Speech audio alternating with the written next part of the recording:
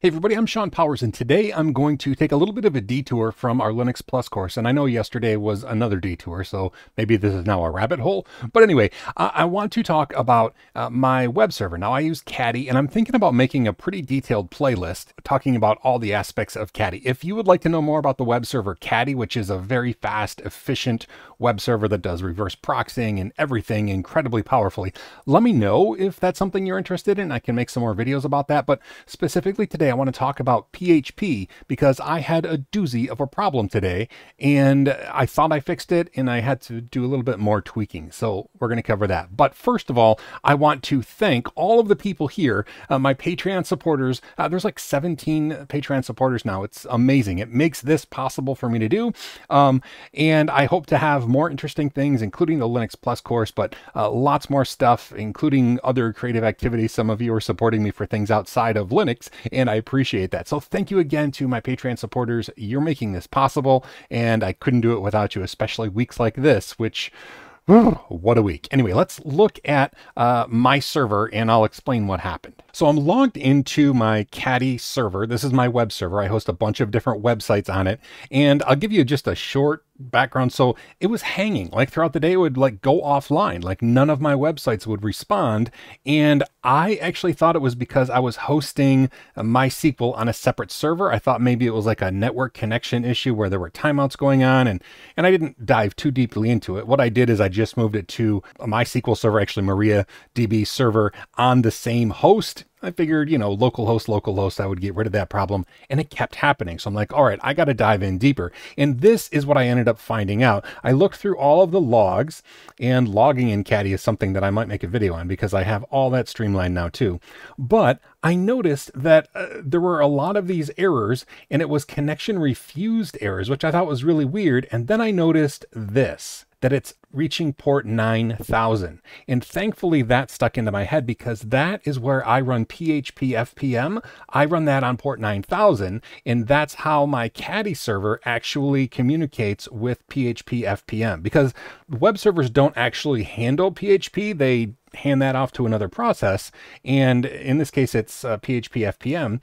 And the problem was it wasn't uh, looking and accepting connections. So, okay, it wasn't the MySQL thing. It was clearly PHP related. So then I started looking in PHP logs, which is this one. And I saw, now this is actually what I see now, but what I noticed is that the default number of children processes, like the, the number of PHP processes that it can actually be working at once, the default is really low. It's five. So if it reaches five PHP processes that are working at one time, it won't respond. And what happens, um, actually, if you look back at this original log, it was FeedBurner. So it was when my sites were getting crawled uh, by you know automated sites. It, it launches a whole bunch of PHP processes because it's quickly going through all of the various things you know to uh, go into my site. And so the problem was uh, those things like Google Crawler, FeedBurner, they were using up all the processes, and it would just hang because there were no more processes available. So I'm like, oh crap! So I needed to figure out how to go in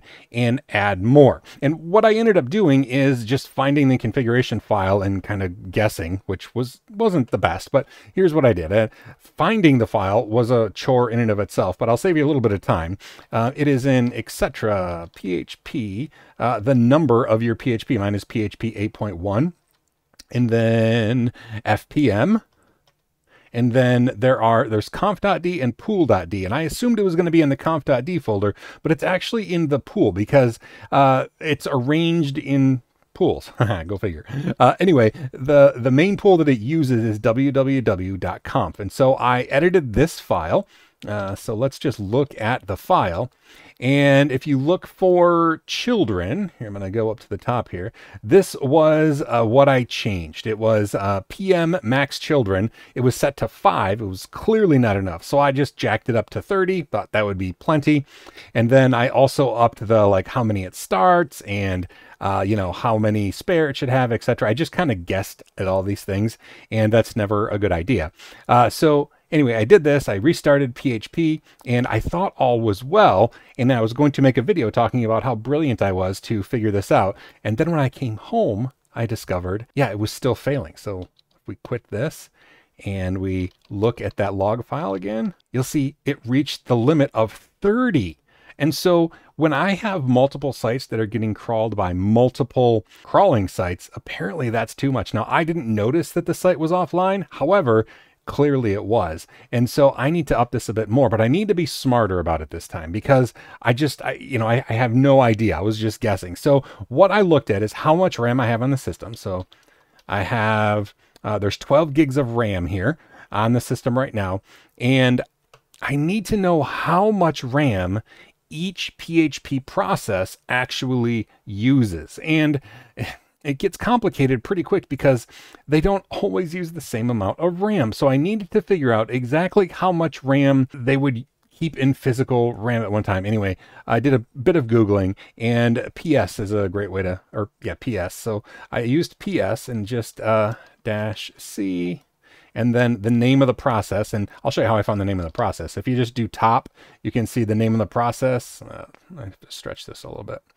The name of the process is PHP FPM 8.1. There's a bunch of ways to find out how much RAM it's actually using, uh, but I decided to use PS, so PS-C PHP FPM, FPM 8.1, and this, see, this will give me the list, but it doesn't give me the memory usage. So I need to do that same thing with the option of RSS, and that's all I want to see. And RSS actually stands for uh, God, resident size, resident set size, or something like that. It's the the amount of uh, RAM that each one of the processes uses in kilobytes. And so you can see these are my 30. Uh, this top one is the main process. It doesn't actually use that much RAM, but these are each individual process. So this is in kilobytes. So yeah, about 162 megabytes is the top one, 163, 157 megabytes. So each one, I'm going to say, uses about 160 megabytes. All right. And so if I have 30 of them, I can multiply it to figure out how much it's going to use. But it turns out somebody smarter than me made a tool, and I'm going to put a link to this in the description. Uh, but it's basically how you can figure out how much, how many child processes you should have based on your server size. And so uh, this is the calculator. Now remember, my total RAM is 12 gigabytes, so I'll put it up to there. Now I have MySQL running on here as well, so I'm going to reserve like maybe four gigs of RAM for that. That's specifically going to be for the MySQL server. Uh, I'm going to leave the default RAM buffer at 10%. And then the process size is about 160.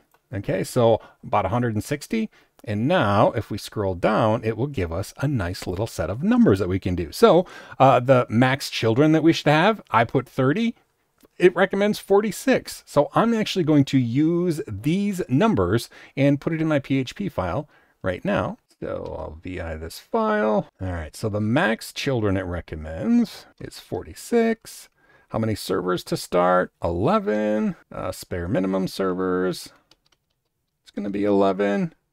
And then max spare servers, it says 34.